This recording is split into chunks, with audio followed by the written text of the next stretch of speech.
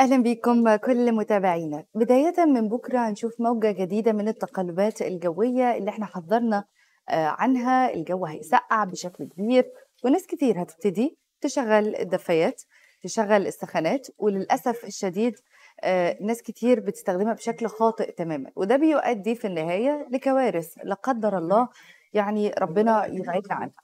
طيب الحقيقة إن الشركة المصرية لتوزيع الغاز الطبيعي للمدن تاون جاز إحدى شركات قطاع البترول أعلنت عن مجموعة من الإرشادات العامة بعد تحذير هيئة الأرصاد الجوية من تعرض البلاد لموجة من التقلبات الجوية اعتبارا من مساء اليوم الأربعاء.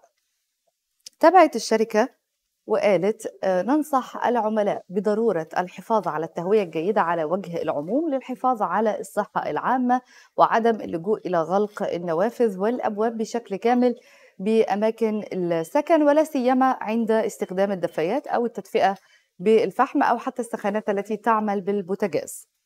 أشارت كمان الشركة على صفحتها على موقع التواصل الاجتماعي فيسبوك إنه آه، فيما يخص السخانات التي تعمل بالغاز الطبيعي فيجب الالتزام بالإرشادات المرفقة والتي تتضمن آه، الآتي.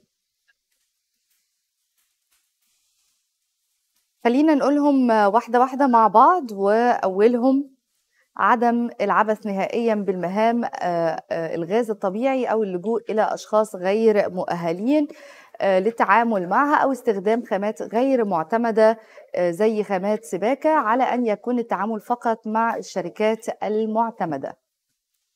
طيب دي كانت أول حاجة. تاني حاجة عدم تسوية أو عفوا عدم سد فتحات التهوية الخاصة بالسخانات زي الهواية نهائيا إذ يلجأ بعض العملاء إلى إلغائها أو سدها بمعرفتهم وخصوصا مع برودة الطقس في مثل هذه الأيام.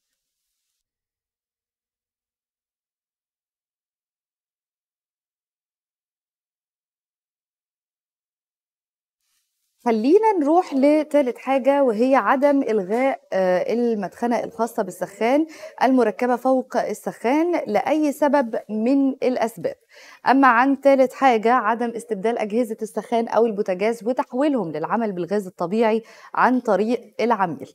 أما عن خامس حاجة التأكد من غلق صنابير المياه الساخنة حال انقطاع المياه الأمر الذي قد يؤدي في حالة عدم غلقها إلى تشغيل السخان بصفة مستمرة دون توقف وبدون علم العميل أما يعني الإرشادات الأخرى آه، خليني أقولها لحضراتكم ولكن دول كانوا أهم خمس إرشادات من الشركة. طيب للأسف الشديد من الخطر جدا غلق فتحة التهوية بالحمامات ليه بقى؟ لا يجب غلق المدخنة الخاصة بالسخانات لأن ده هيؤدي لتناقص الأكسجين وتزايد كمان آه، أول أكسيد الكربون وده سبب في الوفيات بسبب السخانات ده اللي بيقولوا عليه القاتل الصامت لأنه آه، يعد غاز أكسيد الكربون هو القاتل الصامت لأنه بيتفاعل مع كرات الدم الحمراء ويسبب اختناق ينتج من غلق الحمام والسخان وبيحتاج السخان لاكسجين آه، للتسخين أو الأكسجين للتسخين فيتم تفاعل البخار مع غاز أكسيد الكربون وبيؤدي إلى اختناق أو أي آه، حاجة تاخد الأكسجين في الهواء تتحول للغاز أو لغاز أكسيد الكربون وبيسبب اختناق ويؤدي الوفاة. هي دي بقى العملية اللي بتحصل لما حد بيتخنق في الحمام وبيتوفى.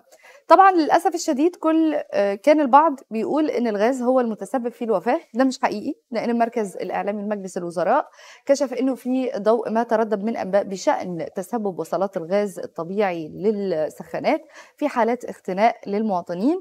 تواصل المركز مع وزارة البترول والثروة المعدنية واللي نفت تلك الأنباء تماما وأكدت كمان إنه لا صحة لتسبب وصلات الغاز الطبيعي للسخانات آه، في حالات اختناق للمواطنين مشددة على سلامة وجود آه، يعني كافة توصيلات الغاز الطبيعي بالمنازل وكمان مطابقتها لكافة معايير الأمان العالمية وإن الغاز الطبيعي غير سام وله رائحة مميزة آه، يعني تكشف آه، عند التسريب. مؤكدة أن حالات الاختناق اللي بيتم رصدها لا ترجع لوجود أي تسريب وصلات الغاز الطبيعي بالمنازل. يعني طبعا يا ريت نخلّي بالنا كلّنا، خلّي بالكم من نفسكم وربنا يسترها على الجميع يا رب. شكرًا ليكم كل متابعي تلفزيون يوم السابع، كنت مع حضراتكم أنا شروق وجدي، وانتظرونا على مدار الساعة، إلى اللقاء.